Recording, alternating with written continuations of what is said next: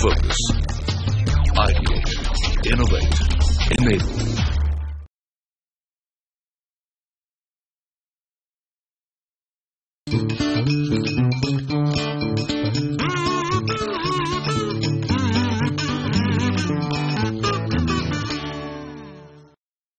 Hello and a warm welcome to NSE's Funancial Quest Season 4. We are at that stage where one victory ensures a position in the national finale.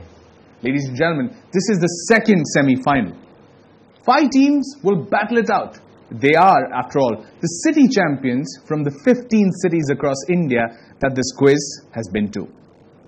400 odd schools, and from them we've arrived at these five different champions who will battle it out today and ensure that they are the last team standing. For now, without further ado, let me introduce to you the top five here, or the five teams that will battle it out in semi-final number two.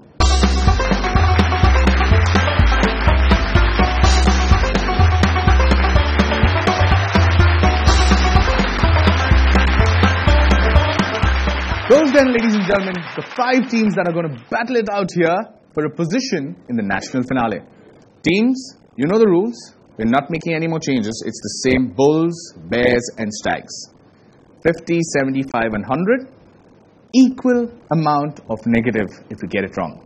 Let's begin this semi-final two with the first of our segments coming up for you on your screen. Opening bell now.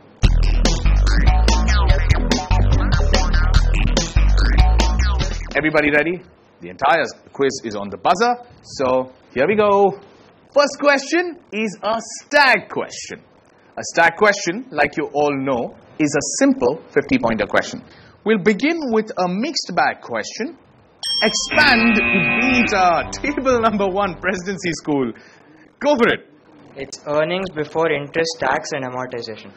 Plus 50 to start off with. Very, very well done. That's a good start that you have on it. But I have one kind request to you. Those buzzers may not be human, but they are pieces that are put together, so don't destroy them at one shot. Go easy, they will work for you. Okay, I'll move ahead then. This is a bear question. This is a brick and mortar question. A light pink to roast. Table number three, Army Public School. Go for it. It's JP Morgan. JP Morgan has got a light pink to rose colored gemstone named after him. Yes. Plus 75 is what you start this quiz with. Well done on that answer. Moving ahead is a true or false question. A regular true or false question. And I know most of these faces have attempted true or false on 50-50 guesswork. So it does work. So don't stop yourself from attempting. But I will move on to the question. Here comes your statement on true or false. Even before I can read my statement. But that's table number two, St. Stephen's. It's true. Are you guessing? Yes. And that is a correct guess on that one. Plus 50 on getting that right. Okay, moving ahead. This is a bear question that's coming up. It's a multi-clue question. It's a 75 pointer on both attempts. 75 negative if you get either of them get it right. Get it wrong rather. All good? Here I'm looking for something technical. Okay? Here we go. This is the rated wit cent table number one presidency school and I start with this is the rated wit central bank. Go on, give me an answer now. Uh, repo rate. Minus 75 is what you get. And I'm going ahead. Buzzer open to the other four teams and here's your second part to it. An increase in this will decrease the money supply and vice versa, other things remaining constant. Table number four, Sigadats. Go for it. reverse repo He said repo rate, but this is the reverse repo rate. And plus 75 is what you get for it. Well done on that one. Reverse repo rate is the answer. It's not the repo rate. Read the question. Do not be in a hurry. That's the opening bell, the end of segment one. Teams have been taking risks unnecessarily. Some teams being honest with their true or false, but that seems to be the pattern here. You're watching NSE's Funancial Quest Season 4 Semi-Final 2. Don't go anywhere. We'll be right back after these messages.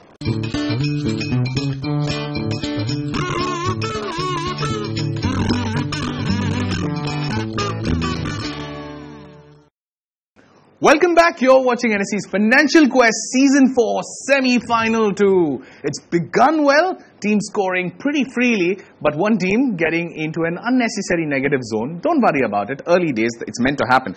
But a quick look at the averages and indices on your screen now.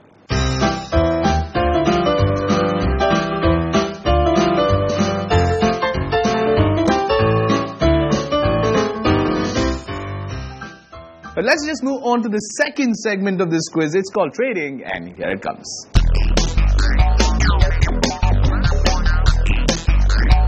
Point system remains the same. Questions will be coming up in jumbled order. It's bulls, bears, and stags that you need to ensure you get right. Simple and easy. Here comes the first one of trading. This is a true or false question, and it's a stag question. That means it's a 50 pointer. Administration of the patrimony of Apostolic See is the central bank of Italy. True or false? At the national semi final, a true or false can be a little tricky. Way too much time on the buzzer, no buzzers then. The answer there is Vatican, and the answer would have been false, not true. Okay, going ahead, it's a bad question. This is a mixed bag question. Something from the world of celebrities in finance. Here we go. What is common to Angelina Jolie, Paris Hilton, Eva Longoria in the world of finance? What is named after? Presidency School, table number one. Go for it. Okay, so they all have indexes named after them. It's called an Angelina Jolie index, the Paris Hilton index, and an Eva Longoria index. How do you know that? And especially it's three women I'm giving you. Angelina Jolie. Angelina Jolie. They've got their priorities right. Very, very right. That is a good answer. Good answer to get that one right. That is a plus uh, 75 that you make on that. That's well done for you. I'm going ahead. Next one is a stag question. 50 pointer. But this is a multi clue question. Here we go. First one. This is an arrangement in which a bank and an insurance company form a partnership so that the insurance company can sell its products Table number four, Sacred Heart Senior Secondary School. It's true. It's not a true or false question. Uh, What is this called? It's a multi-clue question. So that's a minus 50. That's a minus 50. The multi-clue question is very clear about it. Minus 50 is what you get. And on the second clue, again, the value remains the same. It's 50 points and I need an answer, not a true or false. But here we go on this. The second clue. The model is known as BIM. It's workable. Okay, no buzzers, no buzzers on that one. The answer, banking insurance model. Here we go on. Next one is a stag question. This is a brick and mortar question. Here comes your questions. Long one. The ter- what term is used to describe the electronic fraud tactic in which table number one, presidency school, phishing. P H I S H I N G. P H I S F I S H fishing. This is a 50 pointer question. That would mean only one team gets an attempt at it, and that is a minus 50. That's why I told you read the question. Read the question. This becomes vishing. V I S H I N G. Phishing that you're talking about is just electronic, but over the telephone it's voice phishing, which becomes vishing. Moving on is a bull question. It's a 100 pointer. It's a slightly longer question, so bear with me on this. This group started in the early 70s and focused on how European firms could catch up with the US management practices. It also developed and promoted the stakeholder approach, which based corporate success on managers taking account of all interests, not merely shareholders, client, and customer, but employees and communicating within which they operate, including government. Again, going on one word that I said, but go on. Is it World Economic Forum? You're asking me or you're telling me? Telling me. And I'm saying 100 points back on that scoring table. Well done. Well done on getting that right. Okay, moving ahead then. It's a 50 pointer. It's a stag question. It's my favorite true or false question. Okay, so on the buzzers, fingers everyone. Here we go. The Intelligent Investor is a 1949 book by Robert Kiyosaki. True or false? This is false. Intelligent Investor written by Benjamin Graham, and Robert Kiyosaki wrote a book called Rich Dad Poor Dad, so it's completely wrong. I mean, with that kind of information, I think you should come here and start doing this quiz. Outstanding answer, outstanding answer. It may be only worth 50 points, but that is an outstanding answer. Well informed, outstanding answer, Presidency School on table number one. Okay, I'm going ahead. This one is another bull question. Here comes the question on your screen. Best of luck. It's the currency of Guatemala. It is named after. Whoa, HMB Sardar High School. Go for this. Quetzal. You sure? Yes, sir. 100 points? Yes, sir. You want? Yes. I'll give. Outstanding. 100 points on that one. Well done. Quetzal is the right answer. I love the excitement. When they get it right, there is so much excitement. And the last one of this segment coming up for you. Uh, this is a stag question. This is something I personally believe at some point when you start looking at finance from a serious point of view, from an educational point of view, this is some place where you would look at and consider for, for your education. So from that perspective, try and figure out whose identity I'm showing you. Okay? Here we go.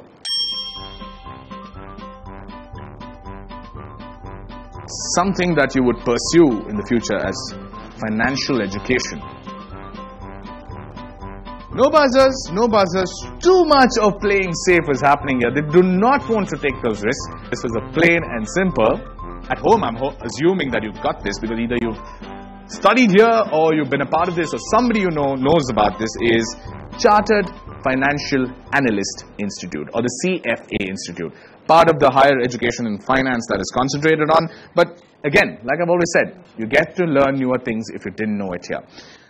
That then is the end of my second segment of second semi-final at NSE's Funancial Quest Season 4. Don't go anywhere. We'll come back with the averages and indices and more questions to play. Stay tuned.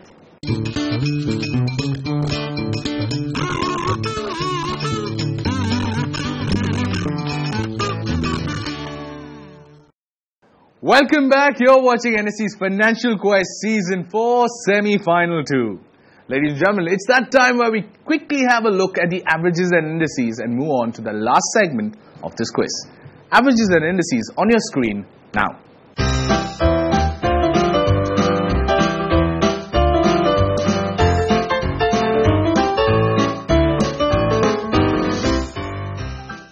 That is your averages and indices. One more segment to go. It's going to make a deciding statement on which team enters the national finale.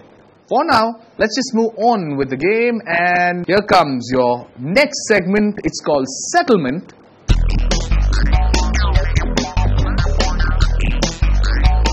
Quiz is not over. Sekadats, from this point, you can go on to win the quiz. St. Stephens, you're not being second last year. It's just a matter of getting those answers right. You ready, you guys? We'll move on then to the first of our questions on settlement. Coming up for you on your screen is a stag question, and it's my favorite true question. or false question. You want to answer beforehand? Say false, no? Okay. Here comes the question for you. It's a rather statement on your screen. Here we go. Okay. Answer. Guys, I need an answer. You hit the buzzer on the question. I need an answer. True. True. That's a random, the randomest guess I've seen on the planet. But sometimes it does help. But read the question. Read the question. Don't take unnecessary negatives. If you were wrong, it would have been a minus 50. But you still get a plus 50 for being right on the answer. That's a plus 50 on that question. Okay, going ahead. Next one. It's a bad question. 75 pointer. Brick and mortar. Two boxes. Give me a right answer.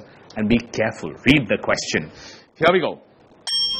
A stock that has lagged behind the majority of other stocks in its sector, the market as a whole, in terms of gains have achieved. Pre- Presidency School, table number one, 4 to 75 points. Go for it. Laggard. Spell that for me. L A G G A R D.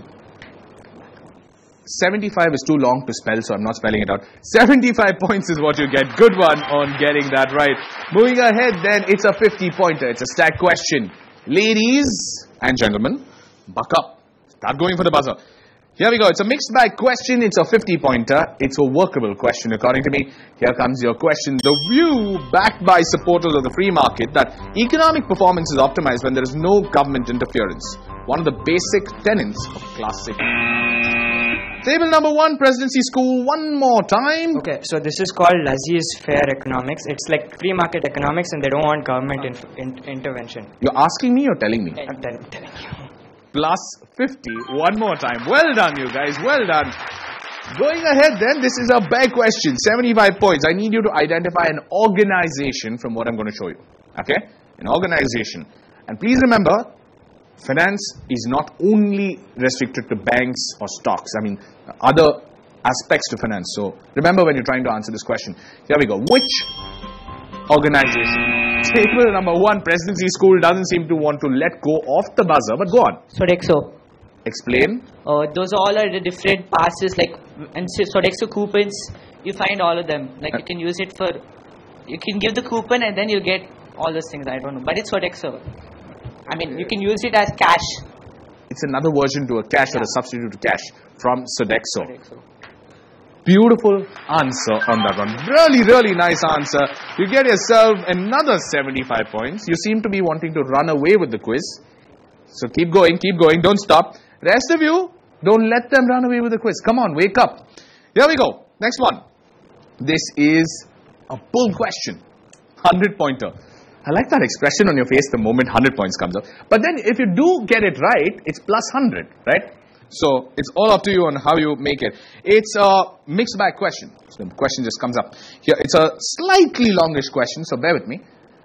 The term was popularized by Benjamin Franklin and Warren Buffett. It is a principle of investing in which an investor only purchases securities when the market price is significantly below its intrinsic value. What's the term used to describe this? It's a 100 pointer. Plus 100, minus 100. Segara, table number 4. Go for it. Um, uh, call or put. Sorry? Uh, call or put. minus 100 is what you say. Unnecessary risk on that one. 475. Anybody else wants to go for this? It almost looks like you guys want to beat up each other. Make up your mind and go for the buzzer or not. No one's risking it at 75. No buzzers. It's called margin of safety. Margin of safety is what is that's called. Moving ahead, then 50 pointer. This is a stag question. This is a visual question. According to me, extremely workable visual question. Identify an organization or a bank from what I'm going to show you. Simple and easy. Okay, here we go. Is the Dena Bank. D-E-N-A. Devkaran Nanjee, uh, the first two letters of the first name and the last name form the Dena Bank. He used to trade in gold and all before he went to switch to five. Oh, and, and that's their logo, Logo, like it's that- it's the inside Lakshmi the D. goddess is there inside the D. the Dena Prepare, prepared is an understatement for you guys, but very, very well done. Very, very well done. Lovely answer. 50 points is what you get on that one. Moving ahead, then, uh, this is the last question of this quiz, and uh, it's a multi clue question. I know they've almost run away, but it doesn't stop you guys from scoring your own points. It's all up to you guys. Here we go. Here comes your question on a bull version of it. It's a multi clue, and the first clue of it on your screen. The value of cash equivalents in accounts receivable divided by current liabilities. What is the term for this?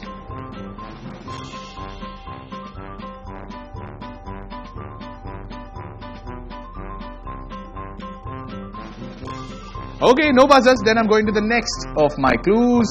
This is also known as quick asset ratio or liquidity ratio, the measurement of corporate liquidity. St. Stephen's School, go for it. Cash reserve ratio. Good try, good try. It's not the cash reserve ratio, it is the acid test ratio. At least you went for it. Fair enough, fair enough. That would be a minus 100 that you get on that question. But you tried. Don't be so disappointed. You tried, you went for it. A quick look at the averages and indices on your screen now.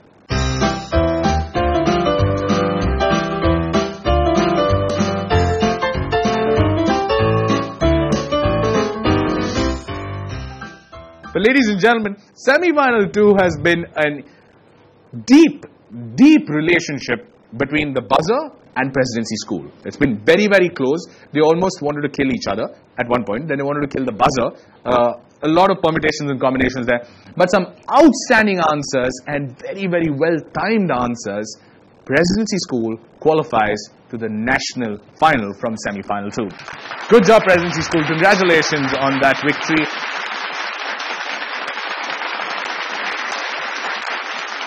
Okay, that then is the end of semi-final two with Presidency School Bangalore qualifying into the national final. I'm your host Lloyd Salana and on behalf of the entire team of NSE's Funancial Quest Season 4 and CNBC TV 18, thank you, take care and see you next week.